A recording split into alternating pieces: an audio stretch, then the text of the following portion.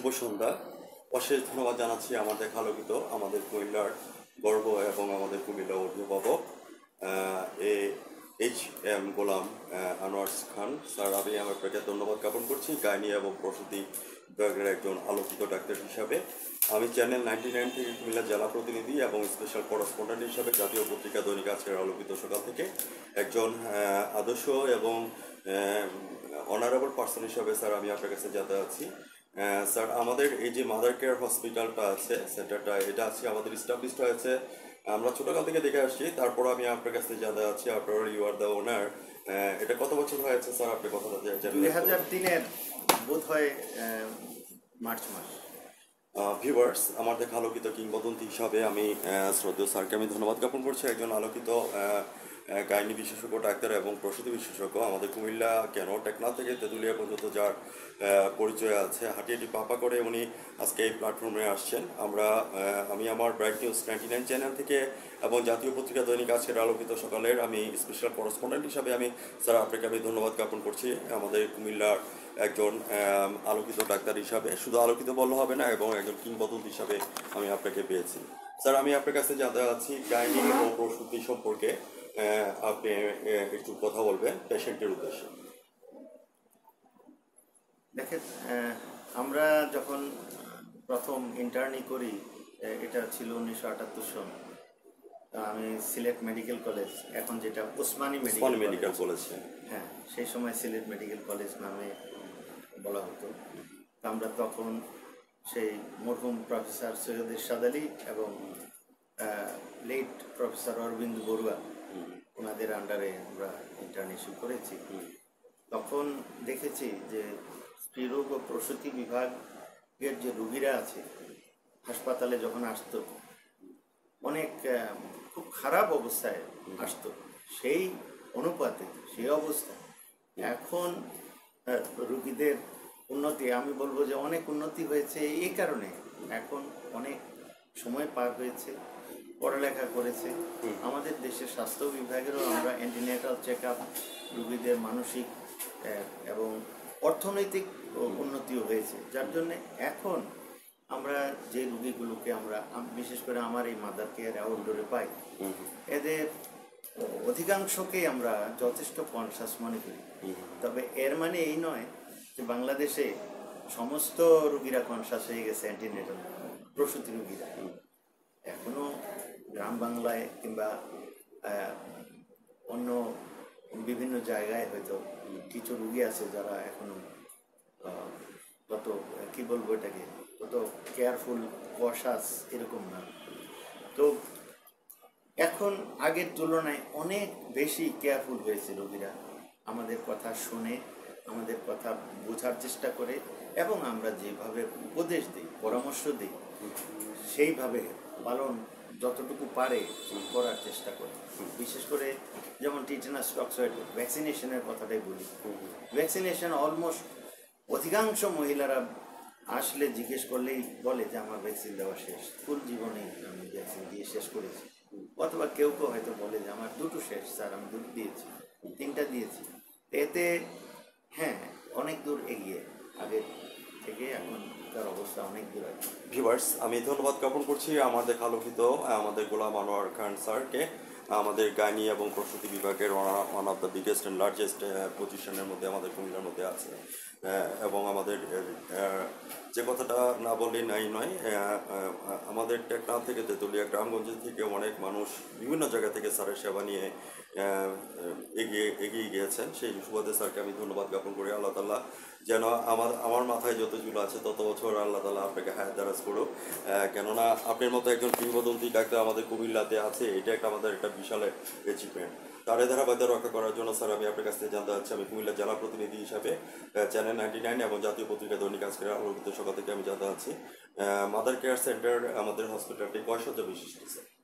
এটা actually registration আছে আঠারো সজ্জা তো এখন বর্তমান প্রেক্ষাপটে বিশেষ করে করোনার পরে থেকে এখানে ইনডোরের রোগী সংখ্যা একেবারেই কমে গেছে। আচ্ছা আচ্ছা।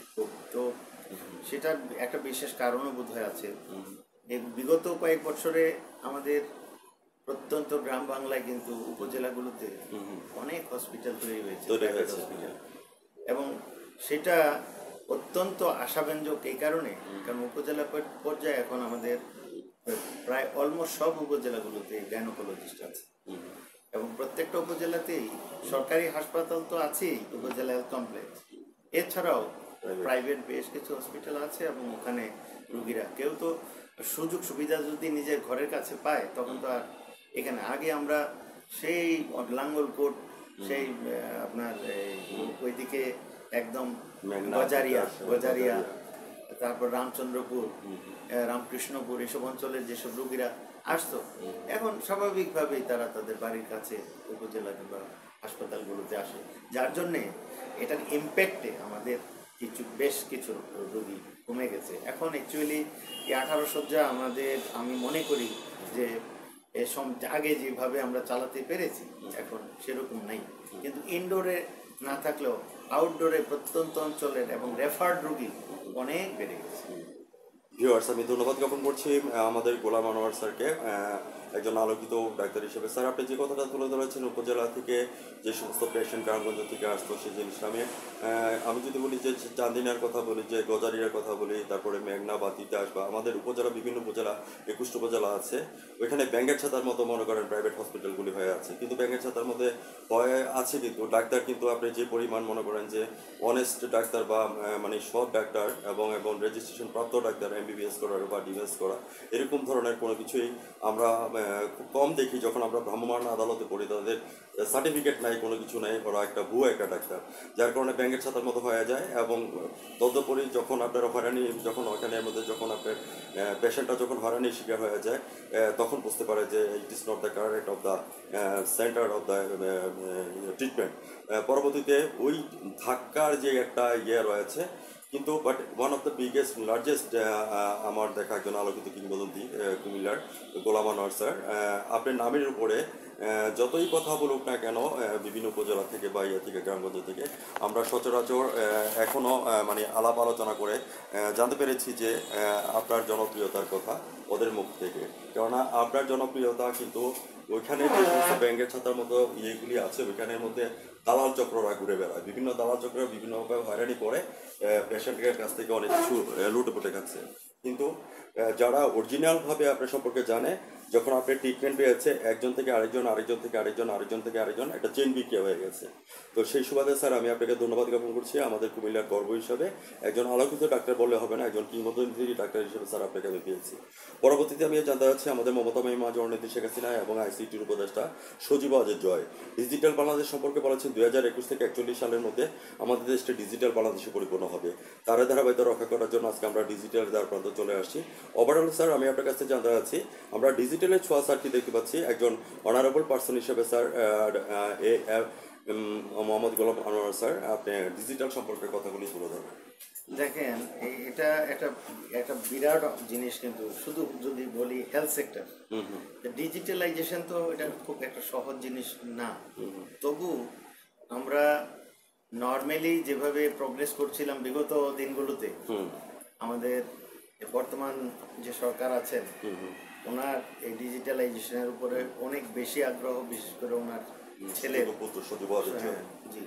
এবং এই ডিজিটালাইজেশনের ছোঁয়া আমরা প্রতি ক্ষেত্রে পাচ্ছি not only health sector every সেক্টরে ডিজিটালাইজেশন যেমন উনি আমরা দেখি যে ফেসবুকে দেখতে পাচ্ছি যে বলছে যে এখন ভূমির যে একটা রেজিস্ট্রেশন হ্যাঁ, পর্চা। নামজারি পর্চা এগুলো একদম ইজিলি এখন পাওয়া যাচ্ছে।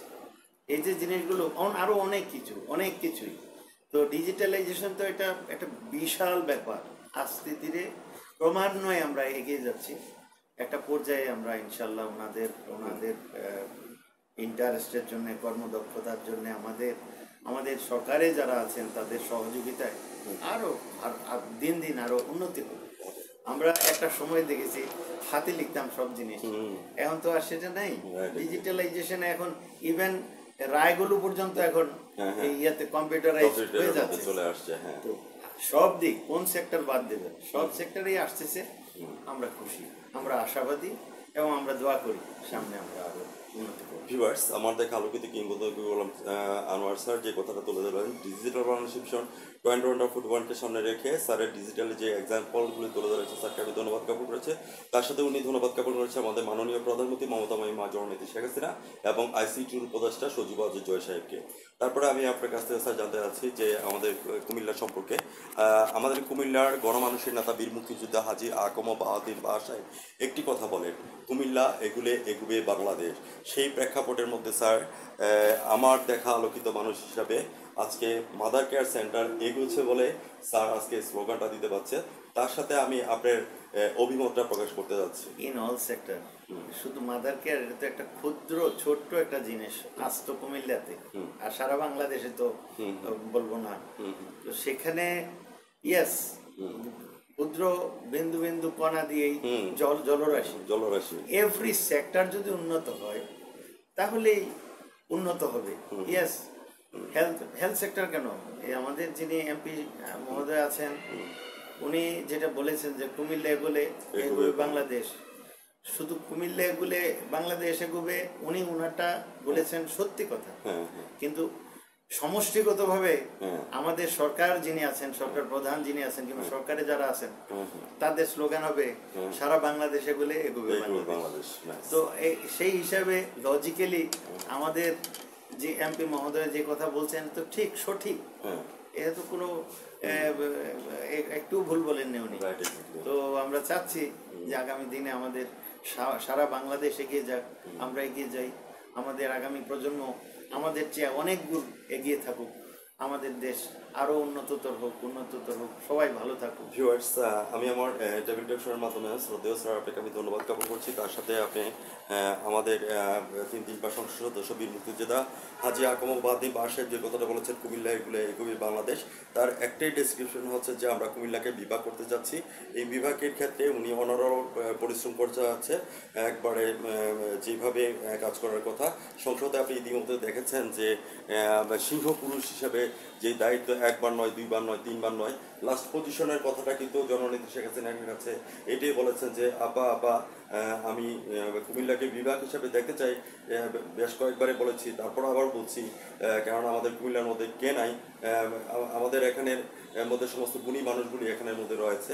শুধু একজন ডিআইজি এখানে নিয়োগ করে দিলেই কিন্তু আমরা ইয়ে করতে পারি। তখন বলল যে, বাহা, শুনো, আমি কুমিল্লা, না, আমি মেঘনাতে, আমি বিবাহ করব। তখন উনি বলল যে একটা একটা কারণ বশত কারণে এটা আপনিও জানেন যে, তখন উনি উল্লেখ করে বলল যে, মেঘনাতে তো কর্নেল মুস্তাক রয়েছে খুনি মুস্তাক ওইখানে কীভাবে সম্ভব?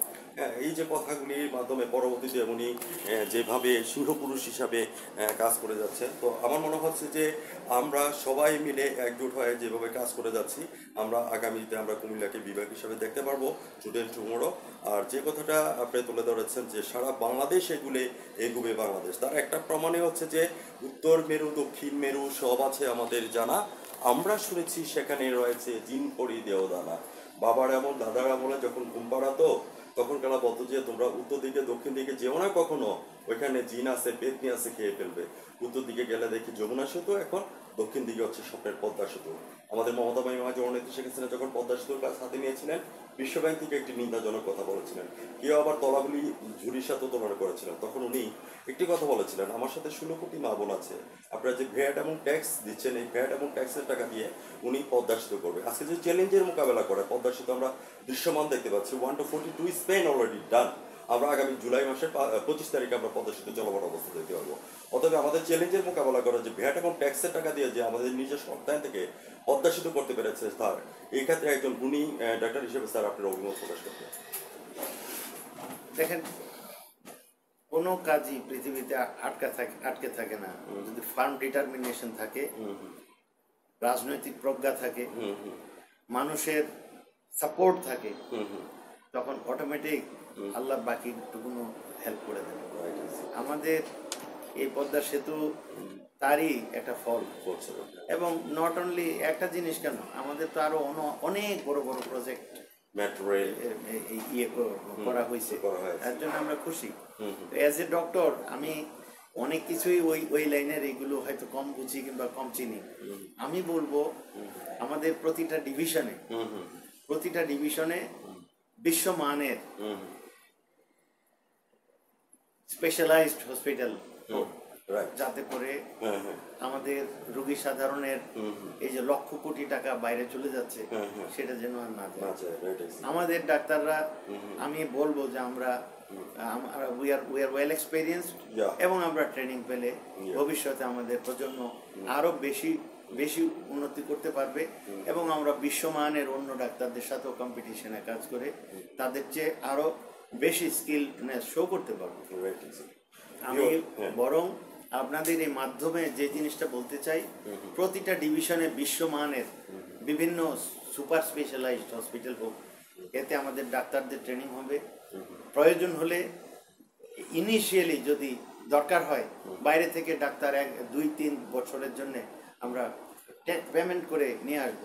তারা তাদের সাথে কাজ করে আমাদের ডাক্তাররা ট্রেন্ড আপ হবে এবং আমাদের দেশের হাজার হাজার কোটি টাকা আমরা নিজেদের ঘরেই রাখতে পারব রাখতে বাইরে যাব। হ্যাঁ, স্যার আপনার সাথে আমি টেবিলটার সাথে একমত আছি। একটি কথাই আপনি তুলে ধরেছেন ক্ষুদ্র ক্ষুদ্র বালুর কণা বিন্দু বিন্দু জল। দেখিতে গিয়াছি পর্বতমালা দেখিতে গিয়াছি সিন্ধু। শুধু দেখা হয়নি ঘর থেকে ফেলিয়া একটি ধানের শিশির উপরে একটি শিশির বিন্দু। আমাদের বাংলাদেশের একটা ধানকে একটা শিশির বিন্দুকে যদি অ্যানালাইসিস করি এখান থেকে কিন্তু আমাদের আলোকিত সবকিছু আছে। আজকে যে আপনি হাঁটিয়াটি পাপা করে আজকে আসছেন এটা একটা বিশাল একটা অবদান। তো আমাদের যে কথাটা আপনি তুলে ধরেছেন আমরা চ্যানেলের মাধ্যমে আপনাকে সাধুবাদ জানাচ্ছি যে আমাদের আপনাদের মতো গুণী ডাক্তার এবং আরও অনারেবল পার্সনটা গুণী ডাক্তার যারা আছেন অধ্যাপক পাল গোপাল থেকে শুরু করে অন্যান্য ডাক্তার যারা আছেন, যারা মানে হায়ার এডুকেটেড পার্সন এবং এক্সপিরিয়েন্স এবং আবার জ্ঞানী বিশেষজ্ঞ দিকে আপনারা আছেন ক্যান্সার বিশেষজ্ঞ, ওনাদেরও একটা কথা যে আমরা বাংলাদেশে যারা আমরা ডাক্তার আছি, বিদেশে যাওয়ার কোনো প্রয়োজন মনে প্রয়োজন মনে হয় না। কেননা এই- যতটুকুই আছে এতটুকুর মধ্যে বাংলাদেশের মধ্যে আমরা একটু সাকসেসফুল করতে পারি। তারপরও ওভারঅল আপনি যে কথাটা বলেছেন, অত্যন্ত একটা যুক্তিসঙ্গত কথা বলেছেন। তো এই জন্যই বলব যে আমরা আমেরিকার আসে কানাডার কথা চিন্তা ভাবনা না করে আমরা বাংলাদেশের কথা চিন্তা ভাবনা করি। কেননা আমাদের এই শিশির বিন্দুগুলিকে অ্যানালাইসিস করলে আমরা কিংবদন্তি ডাক্তারকে পেয়ে যাব এবং ভালো স্পেশালাইজড আমরা ডাক্তারগুলি পেয়ে যাব। এটা যে কথাটা তুলে ধরেছেন আপনি গণমানুষের মাধ্যমে আমাদের চ্যানেলের মাধ্যমে আপনাকে আমি ধন্যবাদ জ্ঞাপন করছি। তারই ধারাবাহিকতা রক্ষা করার জন্য আমি চ্যানেল নাইনটি নাইন এবং জাতীয় পত্রিকা দৈনিক আজকের আলোকিত সকাল থেকে এবং একাত্তর টিভি চ্যানেল থেকে আমি লাস্ট একটি কথা আপনার কাছ থেকে জানতে যাচ্ছি। Sir what's next dream and next goal আমি তো রিটায়ার করেছি দুই হাজার চোদ্দোতে। তো যতক্ষণ বেঁচে আছি মানব সেবায় আছি তো চিকিৎসা করতেছি। আমাদের আমার তিন তিনটা সন্তান ওই ডাক্তারি করিয়েছি আমি। আমার বড় মেয়েটা আহ, মালয়েশিয়াতে ইউনিভার্সিটি অফ মালায়াতে এমএস করতেছে। আমার মেজো মেয়েটা ইউনিভার্সিটি অফ মণিপাল মণিপাল ইউনিভার্সিটিতে কাস্তুব মেডিকেল কলেজে এমবিবিএস পাস করে এখন অনারারি ট্রেনিং করতেছে ইন্টার্ন ট্রেনিং চলে আসবে অগাস্টের দিকে ইনশাল্লাহ আর একমাত্র ছেলে ও ছোট সবার। ও ফাইনাল ইয়ার এমবিবিএস এ আছে মাসা মেডিকেল ইউনিভার্সিটি মালয়েশিয়া। তো আশা করি আমাদের ওই যে বললাম যে আমাদের যে সব- ছোট ছোট স্বপ্নগুলোই এখন বড় হয়ে আসতেছে। আমরা হয়তো দেখে যাব ইনশাল্লাহ যে আমাদের দেশে প্রতিটা ডিভিশনে বিশ্বমানের বড় বড় হাসপাতাল হচ্ছে। আমার সাইডটা আমি বলছি। যাতে করে রুগীরা বলবে যে এখানেই চিকিৎসা হবে। আমরা বাইরে আর যাওয়া লাগবে না। হবে এবং এটা খুবই দুঃখজনক যে অসুস্থ হলেই এখনও আমাদের অনেক অনেকেরই দৌড়াতে হয় বাইরে। এটা বাইরে যেন না যেতে হয়, সেই ব্যবস্থাটা আমরা করি, যেমনি আমরা করতে পেরেছি Padma Setu right exactly viewers আপনারা টেবিল সাথে দেখতে পাচ্ছেন যে আমাদের আলোকিত কিংবদন্তি sir H Mohammad Golam Anwar Khan sir আমাদের গাইনি এবং প্রস্তুতি বিষয়ক বিভাগ থেকে ভিউয়ার্স যারা আমার টেবিল টক সামনে আছেন, আবারও আজ রাত এগারোটা পনেরো মিনিটে আমাদের চ্যানেল নাইনটি নাইন এবং জাতীয় পত্রিকা দৈনিক আজকের আলোকিত সকালে থাকেন। এগারোটা পনেরো মিনিটে আমরা ওকে নিউজ একাত্তর চ্যানেল থেকে আবারও আমরা টক শোটি তুলে ধরবো। ভিউয়ার্স আপনারা শেয়ার করেন কমেন্টস করেন, আলোকিত মানুষের প্রতিধ্বনিগুলি বাস্তবে উদ্যান করেন এবং বাস্তবে প্রতিফলন করেন। স্যার, আপনাকে ধন্যবাদ জ্ঞাপন করছি। তার সাথে আপনার পরিবারবর্গের মধ্যে যারা আছেন, একটি কথা বলব যে like father like son and like daughter এবং তার সাথে আমি আপনি যার মানে কিংবদন্তি ডাক্তার যারা চলে গেছেন, এরশাদ আলী স্যার এবং অরবিন্দ স্যার ওনার হাতে ইন্টার্নশিপ করে আজকে এই প্ল্যাটফর্মে হাতে টিপাপা করে আজকে একটা পপুলারিটি আপনার চলে আসছে। হাতের কাজের এবং যশের উপরে একটা টেকনাফ থেকে তেঁতুলিয়ার একটা ইয়ে আছে। তো ভালো থাকেন, সুস্থ থাকেন। ধন্যবাদ স্যার আপনাকে। ধন্যবাদ আপনাদেরও। ধন্যবাদ প্রিয় দেশবাসীর কাছে দোয়া চাচ্ছি যাতে আমরা আমাদের দেশের সবাই সুস্থভাবে, ভালোভাবে থাকতে পারি। এই দোয়াটা যেন সবাই আমরা করি। ধন্যবাদ। ধন্যবাদ, স্যার।